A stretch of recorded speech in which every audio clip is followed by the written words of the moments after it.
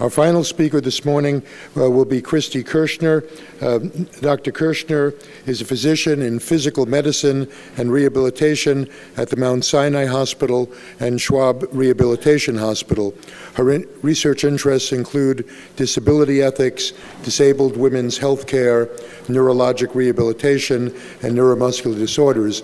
And many of you in the audience know that, that, that Kristi was, was one of the earliest people to enter the field of disability ethics and rehabilitation ethics. Uh, today, this morning, uh, Kristi will talk to us on the topic From Quinlan to Ashley X, a retrospective on disability health care and the role of clinical medical ethics. Kristi Kirschner.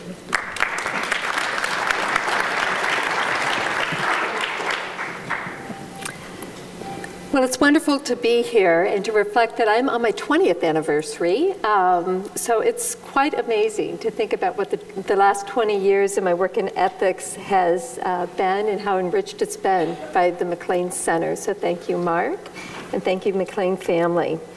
So I want to just put a couple of premises out there. And I'd like to start with the fact that when I think about the seminal cases that have helped define clinical medical ethics since the 60s, 70s, 80s, I think many, if not most of them, have at their core an issue or question of disability.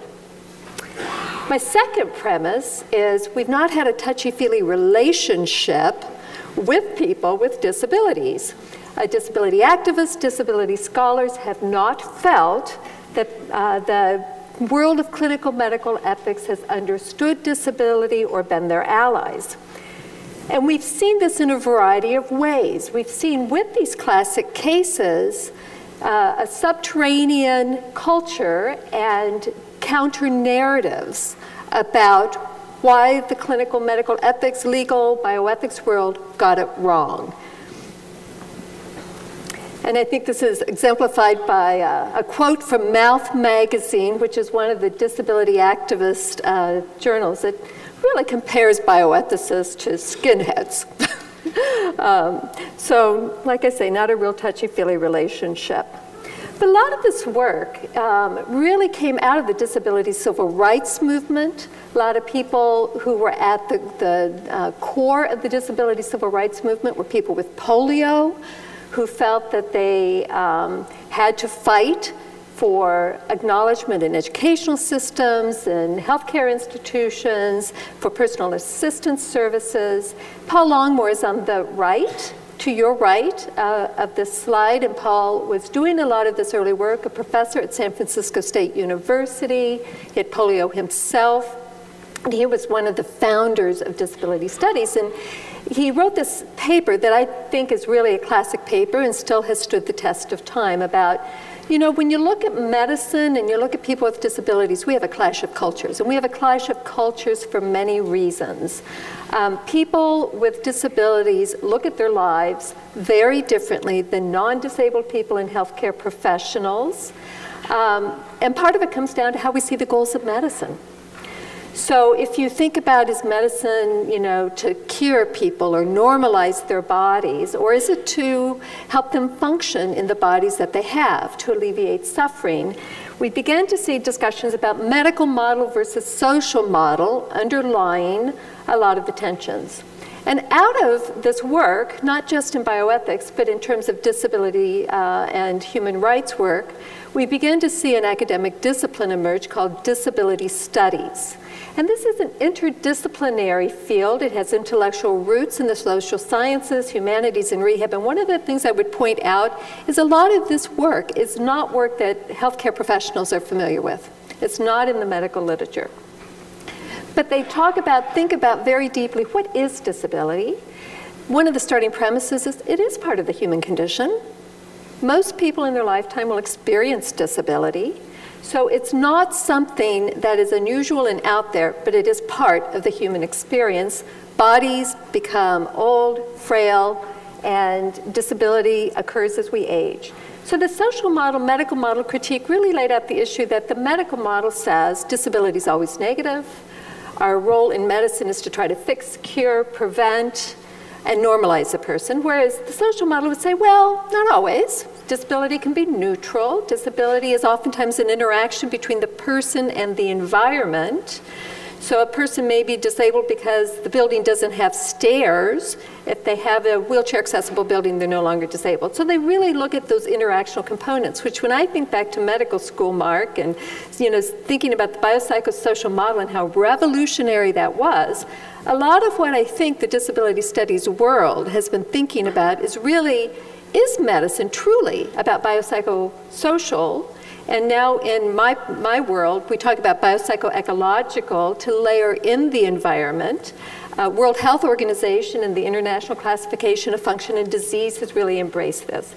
So in disability studies, the stakeholder perspectives are critical. Who gets to decide what the issue is? Who gets to frame the question? What are those power differentials? Again, feminist bioethics, narrative ethics has done some of this too. But disability studies does uh, acknowledge issues of stigma, stigma and marginalization. So if I had to capture sort of the major beefs I think disability activists and disability scholars have had with bioethics, they feel devalued by the way disability is talked about. They feel like there's ignorance about disability and there's a lack of respect for the lives of people with disability. There are negative attitudes, and we've got an abundant amount of data that says healthcare professionals and people without disabilities are not accurate in their perceptions of what life with disability is like. They consistently have a negative uh, perception of quality of life that is not in sync with what people would say about their own lives. And we've got still lots of issues of lack of access, care, resources, discrimination uh, in terms of helping to level the playing field so people with disabilities can participate. So we've had counter narratives. So we've reached a point, I think, in medical ethics where we would say, well, we've really kind of tackled a lot of the major issues. Um, we've talked about autonomy and the importance of autonomy in healthcare. It's the preeminent guiding principle of Western bioethics. Competent patients have the right to refuse medical treatment, including life sustaining treatment. And we're still talking a lot about the importance of an advance directive and what, what issues that would solve in medicine. So, are these settled? Well, I think let's look at a couple of examples of how the counter narratives have worked. Let's go back to the 80s with some of the seminal right to die cases. Elizabeth Bouvia, the woman with cerebral palsy, who wanted to starve herself to death, was admitted to a hospital in Riverside, California. Doctors put a feeding tube in. And Elizabeth, for three years, cycled in and out of the courts saying, I do not want that feeding tube. I do not want that feeding tube. I do not want that feeding tube. And the court said, competent patient right to refuse medical treatment, and it became one of the seminal cases. But the disability activists were in the background saying, now wait a minute. We're looking at her as, as being depressed and um, wanting to die because of her cerebral palsy. In fact, if you look at the Mike Wallace videotape interviewing Elizabeth Bouvia and interviewing people who testified in her case, the neurologist says, None of us can imagine what it's like to scratch and not to be able to scratch an itch, which was never part of why Elizabeth Bouvia wanted to refuse food and fluid. So the disability activists were saying something funny's going on here. She's been disabled her entire life. That is all she's known. And she was not um, somebody who gave up, but she was feisty. She lived in the community. She got married. She was working on a social work degree what changed? Why did Elizabeth all of a sudden decide that she wanted to starve herself to death? And they had all sorts of stressors that they could identify. Her marriage had broken up. She'd had a miscarriage. Her brother died. She'd lost her housing. She'd dropped out of, out of school. So they were talking about these are stressors that could cause despair for anyone, disabled or not. Why are we treating her differently? Another seminal case was David Rivlin in 1989. David Rivlin had a spinal cord injury. He had lived in the community. He had been going to, to the university studying to be a philosopher. He'd had a girlfriend. He'd been engaged to be married. Then he developed some new neurologic symptoms, which should not happen with a spinal cord injury, which is a static injury. They evaluated it, found he had an aneurysm of the spinal cord. So he underwent surgery to try to attempt to repair that aneurysm. Did not go well. He ended up ventilator dependent. What changed for David Rivlin was he ended up in a nursing home for three years because in Michigan, the Medicaid system only allowed him to get care in the nursing home with a ventilator. So David Rivlin, after three years, said, I don't want to live. I want to be taken off the ventilator and allowed to die. And this was actually one of the early cases that Jack Kevorkian got really interested in and helped to stimulate his work. Um, medical model, bioethics would say competent patient, right to refuse medical treatment. And indeed, if you look at the tapes of David Rivlin and you hear this, the, the doctors who evaluated him, they would say, yeah, he was depressed, but it was really a rational response to a situation. The counter narrative was, you know, this is really not an act of autonomy. He does not have choices. This is, this is assisted suicide. This is a forced choice. This is coercion. He has no alternative but to continue life in a nursing home versus choosing to be withdrawn from medical treatment because he'd spent three years trying to fight for a way to return to his own home in the community, and he'd continued to fight barriers.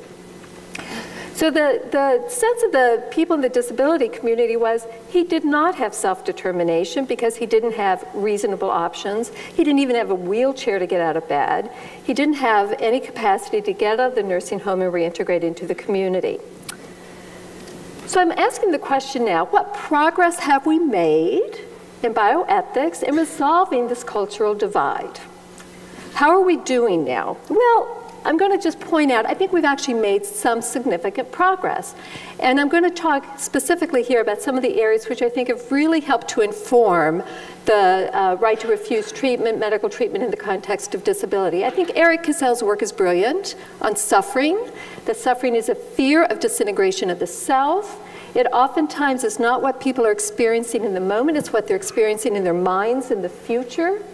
Um, Peter Ubel, are you here? I think if, if you have not read P Peter Ubel's work on um, the, the moral imagination and how people imagine states in the future and how they anticipate quality of life and hedonic um, psychology, I think it's fascinating work. It's helped to explain this disability paradox, why people with disabilities uh, judge their lives to have much higher quality of life than non-disabled people and healthcare professionals could imagine.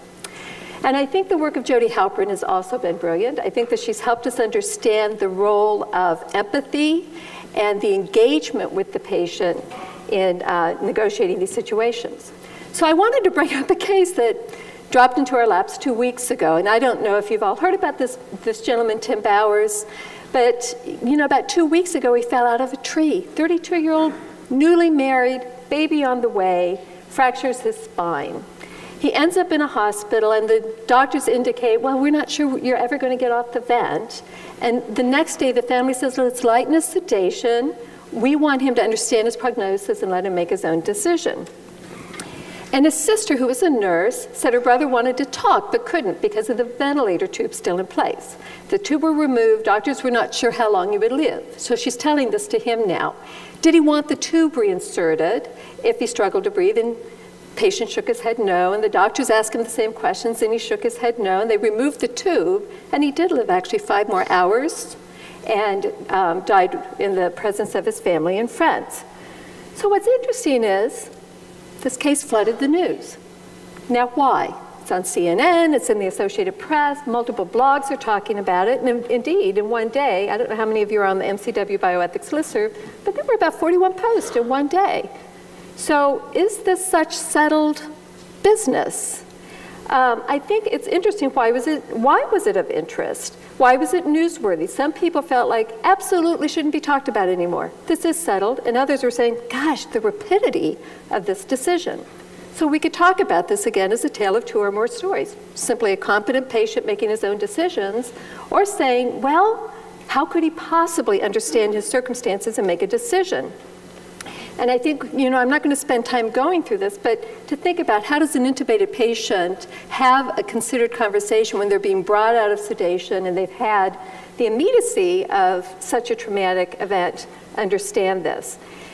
And so one of the answers in terms of the disability uh, community's perspective on this was from the United Spinal Association president, a man who had spinal cord injury, who said, I think this was uninformed consent. He said in 1993, if I were in this gentleman's shoes, I would completely understand why he felt the way he did and why he chose what he did. But he also talks about what it's like to be in that state. You're at your lowest moment, you're at your point of greatest vulnerability. And he talks about then how you're worrying about being a burden to your family and you know the despair and the suffering, and how glad he was that time was taken and he was able to work his way through it. And I think if you went back to the work of Jody Halpern, she would help us understand what's going on here, that in the face of substantial suffering, the person's ability to have mental freedom, to imagine possibilities, goals for the future, let alone to challenge their preconceptions of what this condition may be, is actually quite constrained. And that is that therapeutic engagement, a process that we engage with with patients that allow them to make decisions from points of authentic uh, self-determination. And Ellen, thank you. I used the same slide of the uh, iceberg, but I think what I would like to put forward as my third premise is I would love to see those of us who work in medicine, bioethics, have actually a whole lot more curiosity about what this life with disability is about. It's much richer, more complicated, deep, with more potentiality than I think most of us could ever imagine. And I'm still at that tip of the iceberg stage after working with it 25 years. So that's, uh, that's what I'd like to posit. Thank you.